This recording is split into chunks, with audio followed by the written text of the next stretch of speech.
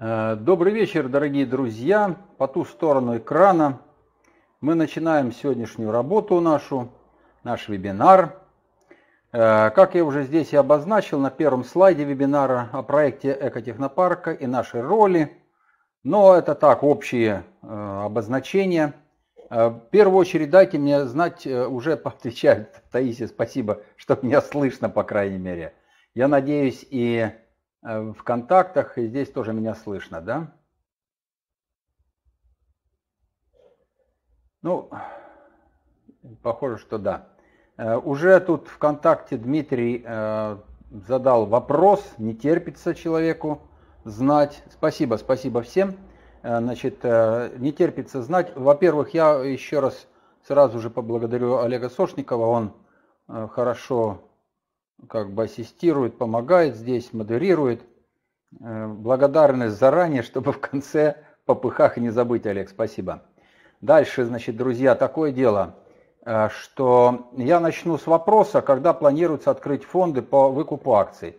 Вы знаете, дорогие друзья, вот э, хочется сказать как-то более резко, но не имеет смысла, я просто скажу спокойно, значит, ну, сколько можно этот вопрос? Вы знаете, это непланируемый вопрос, э, непланируемая вещь. Э, она вытекает из э, целого ряда событий, которые должны до того произойти.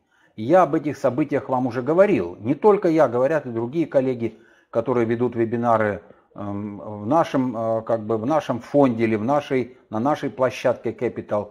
Об этом говорят, говорит Анатолий Эдуардович в РСВ и так далее. Э, Кирилл э, Бадулин говорит об этом. Дорогие друзья, что является основой открытия фонда выкупа акций? Это то, когда есть средства, есть э, значит, различные возможности. Подготавливается. Это зависит еще от целого ряда других факторов, о которых сегодня мы не будем говорить. Поэтому планировать это достаточно трудно. Но я так думаю, я так думаю. Я не планирую, я не обещаю, я думаю, что надо было бы действительно, как я уже неоднократно говорил, еще в этом году а, значит, создать площадку, или не площадку, а создать возможность. Здесь больше юридических вопросов, друзья. Это же нельзя так тяп-ляп, значит, а ладно, вот вроде бы даже уже и средства появились, и еще что-то есть.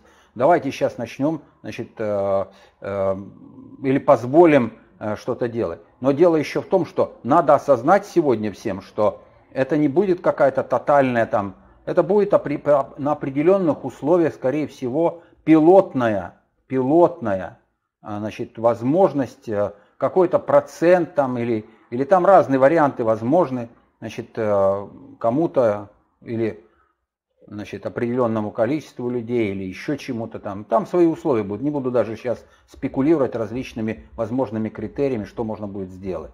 Но будет, будет. Значит, э, смотрите, э, так, есть все. Начну с того, что я хотел вам сказать. Значит, смотрите, друзья, Экофест.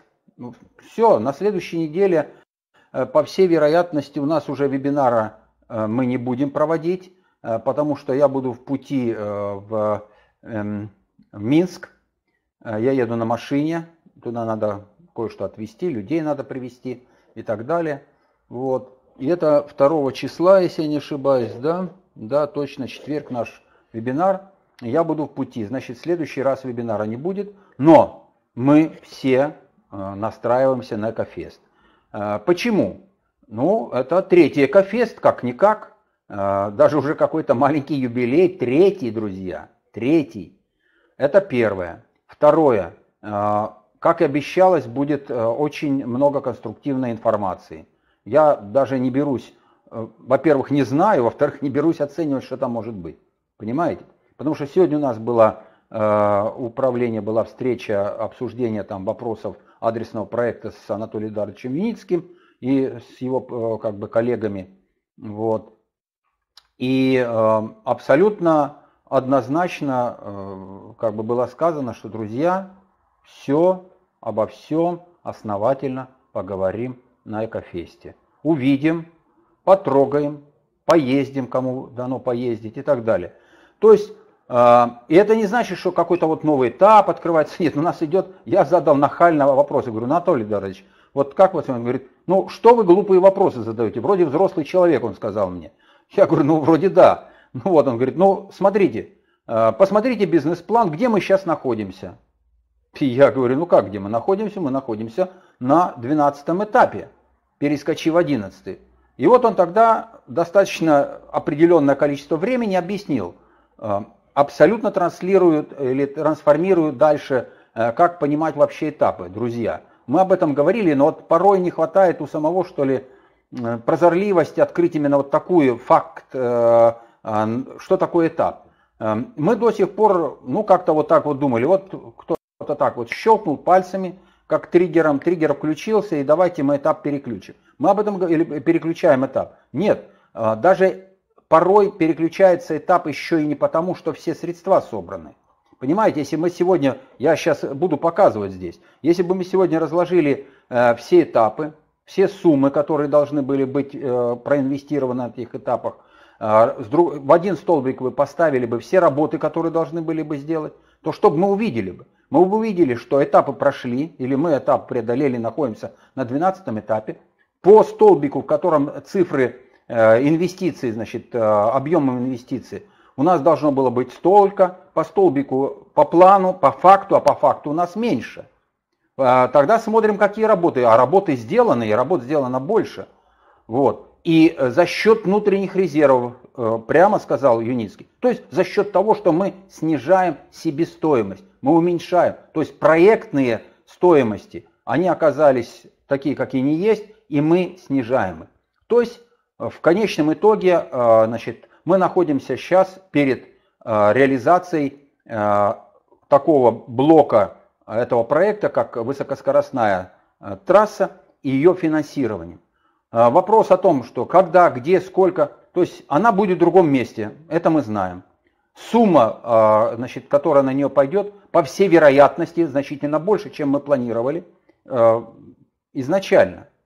Потому что там разные варианты были. Даже я какое-то время рассказывал, смотрите, друзья, какая большая экономия, что должно было быть там, допустим, 40 километров для разгона, разгона, прогона и а, торможения.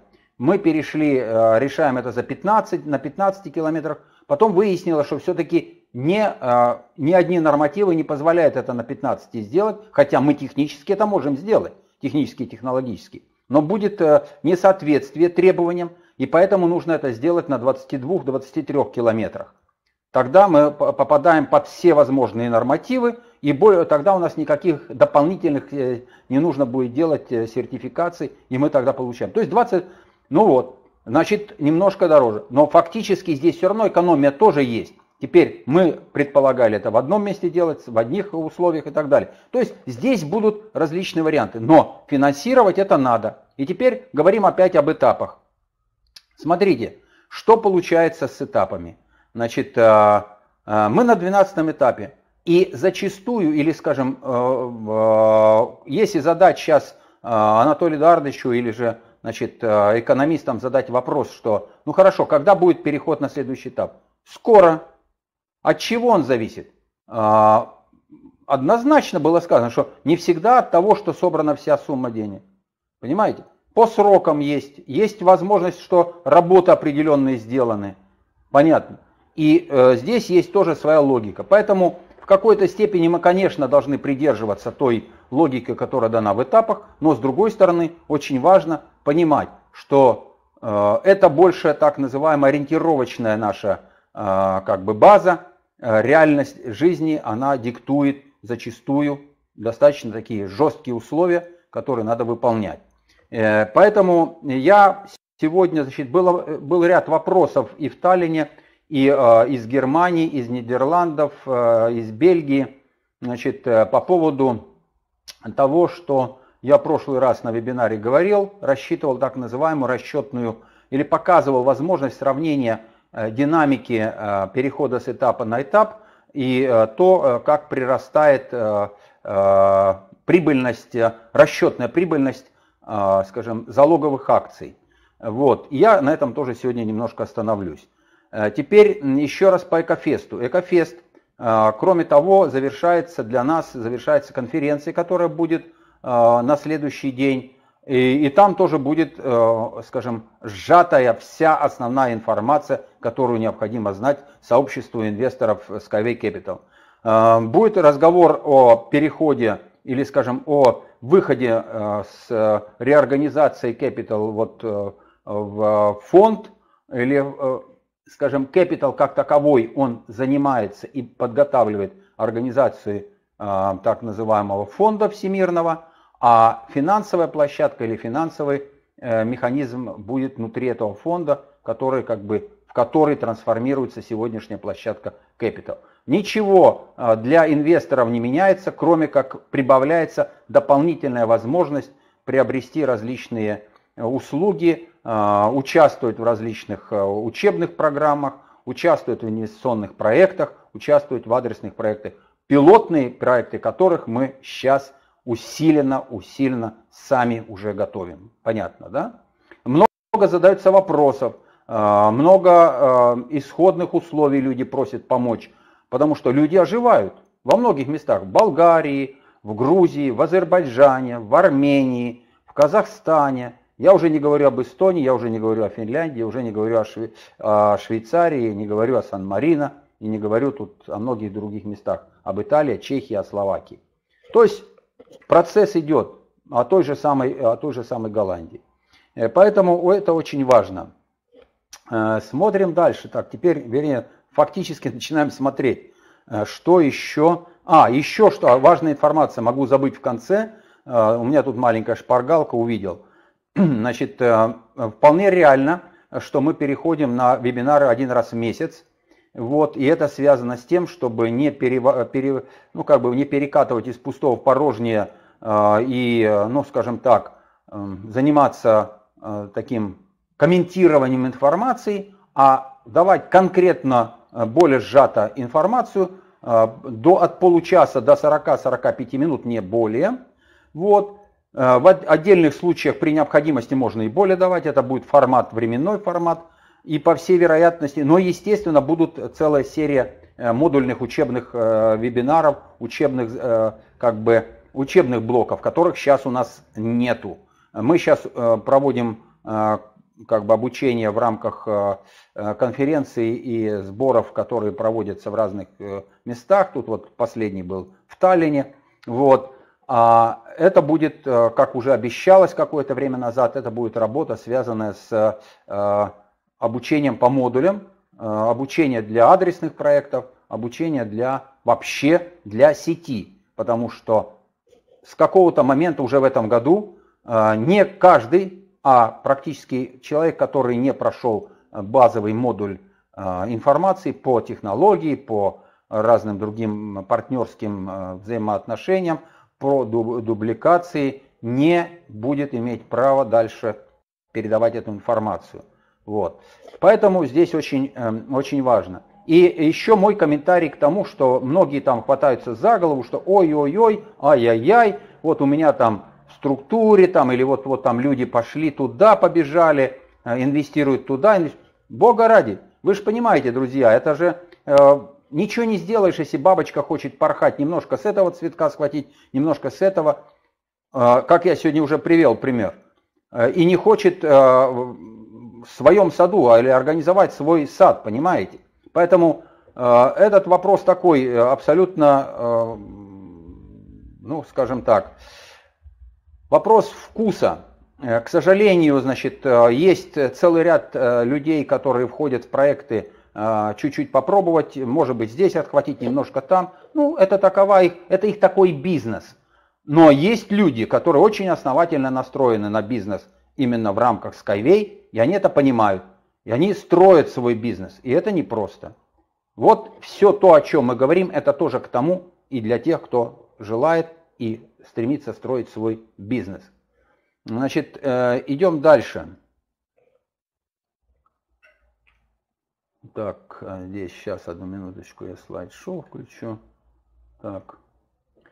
А, сроки и динамика проекта Экотехнопарк а, или сертификация технологии. Смотрите, значит, э, по срокам задают вопросы. Я сам иногда задаю себе вопрос. Я рисовал динамику 2014-2017 год, завершение экотехнопарка и так далее, и так далее. Пошли следующие этапы. Мы находимся в 2018 году, и у нас э, перед нами 12 этап. Поэтому, дорогие друзья, финансирование, э, инвестиционный поток – это важнейший фактор. И когда мне задают, я как-то вот прижимал уши к своим щекам и думал, да, действительно, ведь мы же говорили про 2017 год, э, мы сейчас в 2018, мы уже говорили, сколько уже раз говорили про э, значит, выкуп акций и так далее. Но, друзья, мы не пирамида, мы проект, понимаете? И поэтому это все должно созреть. Поэтому, если нет инвестиционного потока, пардон, если ты, Иванов, инвестировал, Петров, Сидоров, э, СЭП и еще там э, Герфункель и еще кто-то там не проинвестировали, ничего не поделаешь. Не, не проработали, ладно, не проинвестировали. Они досужились э, э, толково рассказать про проект и так далее, а проинвестировали, сидят, ждут, когда манна небесная посыпется. Но, друзья, так не делается. Поэтому проект такой, какой есть. И поэтому надо честно здесь говорить, что мы есть там, куда мы проект довели.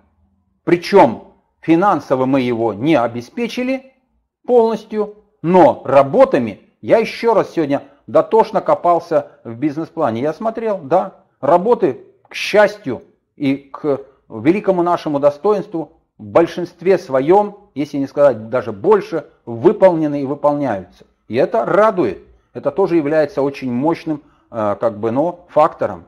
Э, финансирование инвестиций. Как мы здесь действуем, я уже сказал. Наши ожидания, продажа акций, дивиденды, IPO, следующий этап, сроки. Все зависит вот от этого мешка, вот от этого мешка, денежного мешка. Зеленый – это тот, что по проекту. То, что по синенький и над ним висит красная такая полка, это то, что мы в реальности. То есть мы половины даже не проинвестировали. Хотя мы на 12 этапе, дорогие друзья. Мы даже половины еще не проинвестировали. Друзья, понимаете? Да, может быть бизнес-план там, он рассчитывался как рассчитывался. Но тем не менее, проектом мы на 12 этапе, с 1 по 12 этап.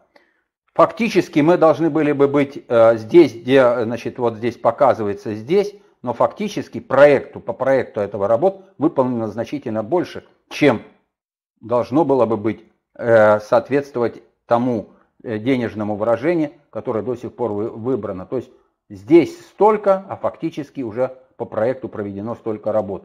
И поэтому это тоже радует. Непредвиденные противодействия являются одним из, из таких я уже об этом говорил, не буду повторяться. Экотехнопарк э, абсолютно в другом месте будет. Э, в подготов, значит, подготовленных проектах и финансовых регуляторах э, значит, очень много ожиданий. Вот. Финансовые регуляторы портят настолько, портят жизнь, что даже не хочется здесь повторять, потому что каждая неделя две трети, не две трети соврал, одна треть времени уходит на то, чтобы что-то придумать, как-то отработать, что-то значит, э, разработать, перевести и так далее, и так далее, чтобы как-то с ними э, сосуществовать. Вот. И это тоже является одним из факторов, который подстегивает как можно быстрее заходить через адресные проекты, то есть через проекты. Э, выяснилась такая вещь, что многие люди или часть людей не понимают, что такое адресный проект. Спрашивают, а что такое адресный? Это по какому адресу мы строить будем? Я говорю не по адресу, а по направлению, конкретному месту привязанный проект, он называется у нас адресным проектом. Это простой строительный проект, адресно привязанный к этому месту. Так, смотрим дальше. Я сегодня хочу сказать, я хочу еще напомнить вам, что э, опять-таки мы имеем дело с вами не э, с продуктом, а с проектом. Это многим непонятно, не э, как-то непонятно и даже не трудно как бы от этого отталкиваться, но тем не менее мы должны и обязаны понимать, что мы имеем дело не с продуктом, мы имеем дело с технологией. Но технология сама по себе не является еще проектом. Поэтому, когда была поставлена задача сертифицировать технологию для того, чтобы осуществлять строительные проекты, вот здесь внизу видно, да, технология для того, чтобы проекты, адресные проекты строительных, строительства трасс и объектов осуществлять, то э, для этого нужны деньги.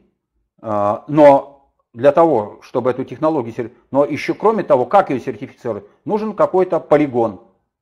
Был создан проект экотехнопарка, но его надо финансировать, и тогда были введены акции. И вот эти три единства, акции, экотехнопарк и технология, это является нашим проектом, который обеспечивает сертификацию. Но в конечном этапе, этапе все-таки экотехнопарк, его строительство и завершение, завершение сертификации всех э, видов транспорта является э, условием, э, окончательным условием для вывода технологий Skyway на мировой рынок. И для того, чтобы Дальше уже по разным другим проектам можно было бы выпускать акции и другие адресные проекты, другие адресные проекты выполнять. То есть это является целью. И это для тех, кто сейчас э, получает залог вот эти акции, для них является вот эти следующие адресные проекты, являются источником получения дивидендов, источником а, капитализации и роста капитализации этих акций. То есть что? Э, Э, осуществление тех ожиданий, которые сейчас у многих и у всех практически есть, и у меня в том числе, что акция будет тот день, когда акция на мировом рынке, на международном рынке будет выше номинальной стоимости. И это будет факт, в разы будет выше. Так что, э, как уже говорилось не раз, что даже реально, что э, могут быть Могут быть разные спекуляции, но об этом сейчас я не буду говорить. То есть это очень важно понимать, дорогие друзья. И это тоже является тем, что вот проект, он идет. Э, я рассматривал, э, и мне пришлось, э, пришла передо мной еще инвестиционный продукт Skyway, или проект Skyway, инвестиционный проект. Значит,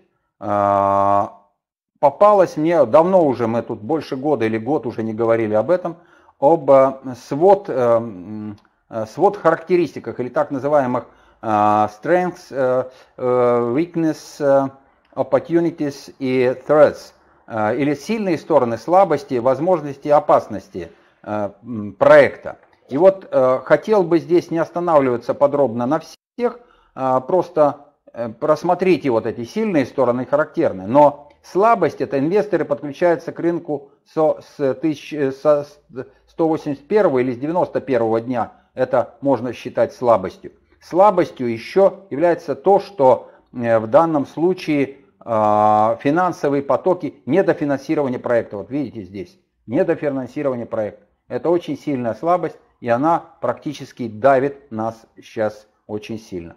Есть э, финансовые инвесторы, э, которые готовы проинвестировать очень крупно, но пока не подходят те условия, которые они выдвигают. Поэтому мы сейчас пока ждем, смотрим. Вот, и э, какие-то э, какие здесь тоже э, возможности будут, будут использованы в ближайшее же время, и мы об этом тоже услышим. Э, э, слабостью является и то, что акции не имеют рынка до выхода на биржу. Это факт. Мы его уже ощущаем, но ничего страшного. По всей вероятности внутренний возврат какой-то не возврат, а те, кому приспичило, или те, кто хотят протестировать дело, да, будет. Но здесь иллюзий не стоит строить, стоить себе. Потому что, как зачастую, вот когда спрашиваешь, ну хорошо, а почему ты хочешь? Ну да, но вот видите, я все-таки вложил там, ну допустим, там две с половиной тысячи долларов, ну хотелось бы отбить эти две с половиной тысячи долларов. Я говорю, ну и хорошо, я отбил ты эти две с половиной тысячи долларов, что у тебя в остатке осталось? Две с половиной тысячи долларов ты от, получил обратно, и сколько у тебя осталось акций?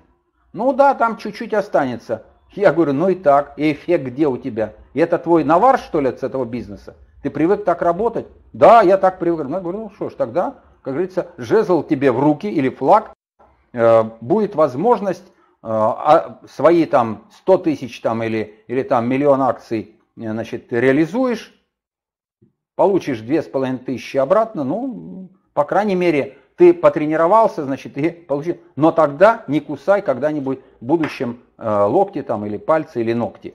Э, поэтому это все известно и присуще Смотрим дальше.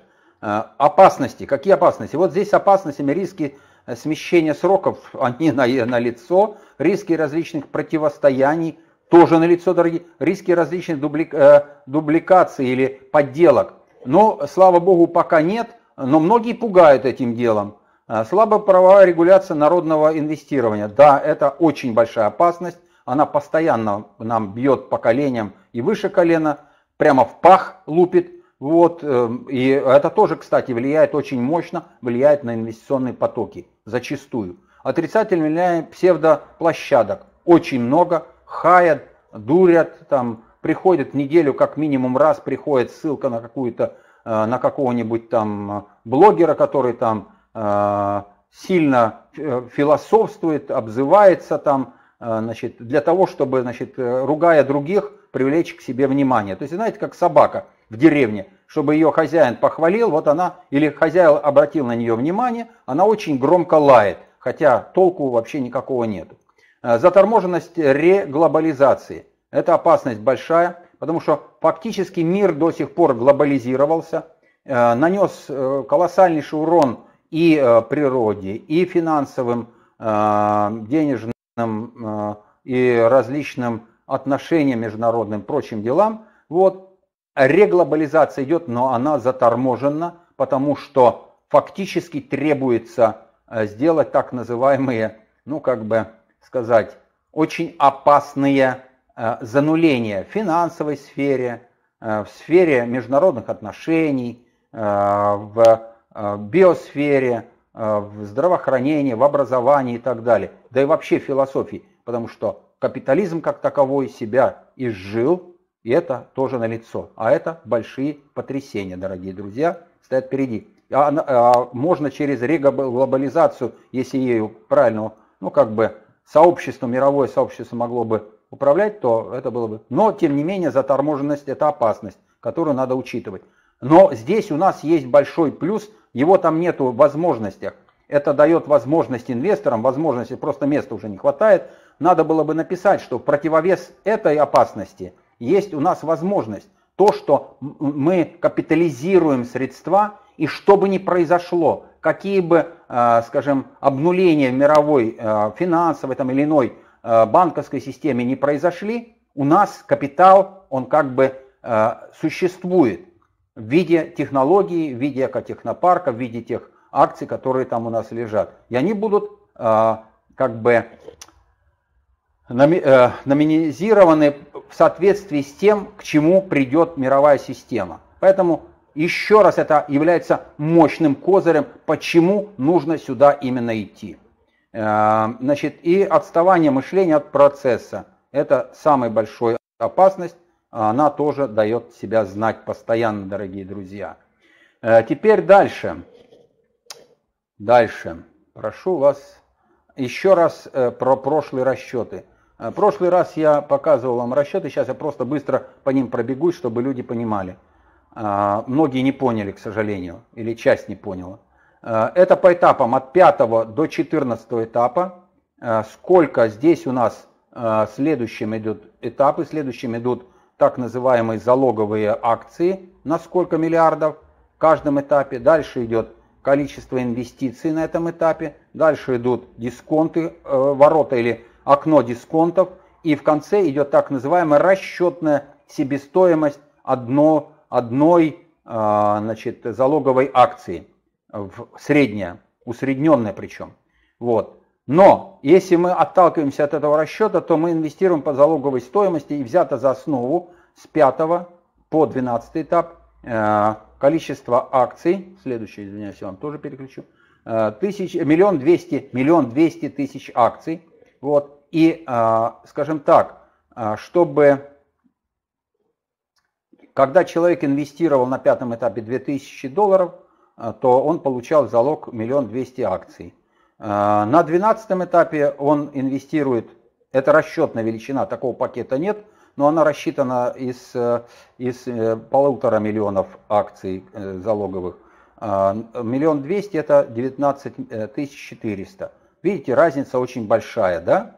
Э, если мы посчитаем, э, сколько э, себестоимость одной акции и потом возьмем, посмотрим, что у нас со 100 тысячами акций получается, да, я уменьшил это специально, то тогда получается, что на десятом этапе, не будем там на восьмом, на девятом, на пятом смотреть, на десятом, более близком этапе, здесь у нас за 100 тысяч акций, они как бы, эм, ну, себестоимость их 742 доллара, десятый этап. Один этап мы проскочили, но расчетная себестоимость была бы 1300 э, долларов 100 тысяч акций. На 12 этапе 100 тысяч акций это 1619 долларов. Исходя из этой логики, я смотрел и показывал, что, что значит между 10 и 11 этапом, которого не произошло, было 6 месяцев, и ориентировочно можно было рассчитывать, что на 10 этапе средний месячный прирост Э, так называемой прибыльности акций составил 29,2%. Я разделил э, расчетное на 11 этап, на количество расчетного 10 этапа и так далее, и так далее, получил на один месяц.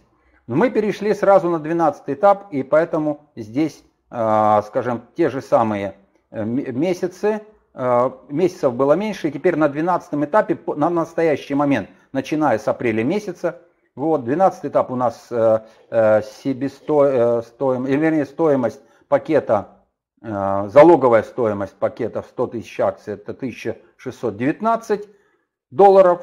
Вот, по сравнению с 10-11 не было, это 218 процентов. Э, три месяца прошло, 72,3 процента в месяц. Ну, экотехно, экофест пройдет, ну, глядишь, э, тут уже и переход, наверное, скоро будет. Так что в среднем я там где-то вам писал, что в прошлый раз говорил, что в среднем от 36 это зависит от того, сколько месяцев между этим будет. Э, кто-то мне задавал из Германии, по-моему, вопрос, ну да, а что будет, если, э, если 13 какова будет на 13 этапе? Почему вы это не показали? Его я расчет сделал, я не стал сюда выставлять. 13 этап я привел опять-таки по 13 этапу. Что я сделал? я сделал тот же самый расчет на э, миллион двести акций залоговых, да, э, тот же самый расчет провел, на миллион двести, вот этот же самый расчет провел. И что я получил, значит, э, у меня тут передо мной шпаргалка. Я получил, что так называемое приобретя, приобрести может на 13 этапе расчетно пока из того, что мы видим в бизнес-плане, не в бизнес-плане, а в финансовом плане – Значит, это миллион двести акций за 30, примерно 30 тысяч. 30 э, тысяч, это вот смотрите, значит, я тогда приведу здесь. Это то же самое, что если бы здесь был 13 этап, то здесь было бы 30 тысяч долларов. Миллион двести акций, 200 тысяч акций.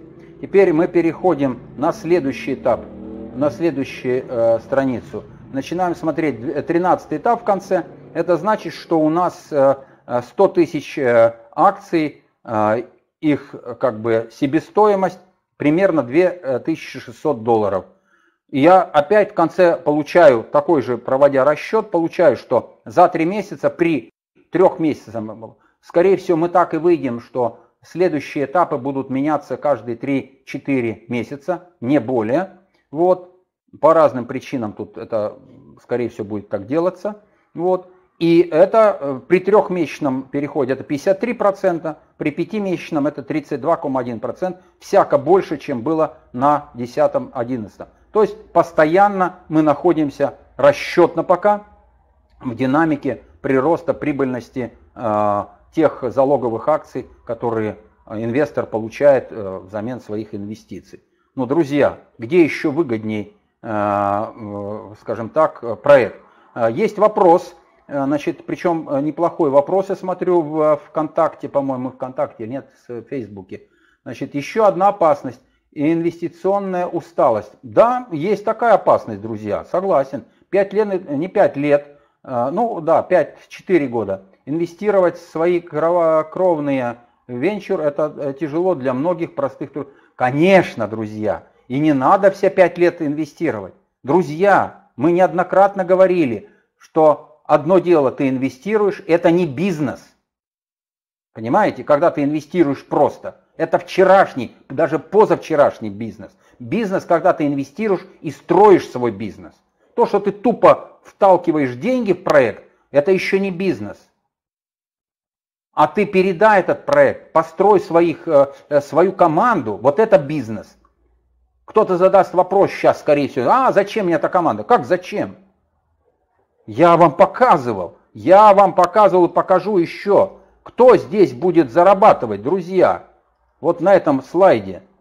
Смотрите, от кого это зависит? Акции С, акции Б, акции А. Зарабатывая на конкретных проектах, вы еще будете, создав команду, создав свой бизнес, вы будете работать на те акции, которые сегодня вы тупо, те, кто тупо, а те, кто не тупо, инвестировали и создали свою команду, зарабатывали и за счет создания команды, и за счет своих инвестиций. Ну, друзья, надо же головой думать, когда вы эти процессы выстраиваете. Поэтому усталость есть у тех, кто, э, скажем, не, э, э, не умеет правильно свои стратегии выстраивать. Число 4. Что такое инвестиции? Инвестиции, можно подробнее, как это делается. Что такое инвестиции? Не понял. Можете подробнее, как это делается? Как делается? Инвестируется, если вы не в курсе. Ну, я сейчас не буду ликбез Батыр, Батыр я не буду сейчас ликбез проводить, э, постарайтесь обратиться, э, выйти на сайт, кто-нибудь из, э, из сообщества, которое сейчас здесь смотрит этот вебинар, дайте сюда ссылочку, пожалуйста, нашему коллеге, который сейчас слушает, чтобы он посмотрел, значит, Э, посмотрел бы информацию на сайте Capital или на сайте Анатолия Эдуардовича Ницкого. Хотя там про инвестиции мало сказано, но есть все документы, которые говорят, бизнес-план есть, и там есть план инвестиций, инвестиционный план. Так, э, основная масса людей ленивые всего боятся и не хотят приглашать. Ну, статистика такова, Николай, э, значит, конечно, к сожалению, это так или не к сожалению, природа такова. Э, я когда-то рисовал вам, э, нет, вам, наверное, не рисовал, хотя вообще э, так называемая кривая статистических распределений. 3% активных максимум, остальные 17 ждущие, 30 приглядывающиеся, это в положительном секторе графика.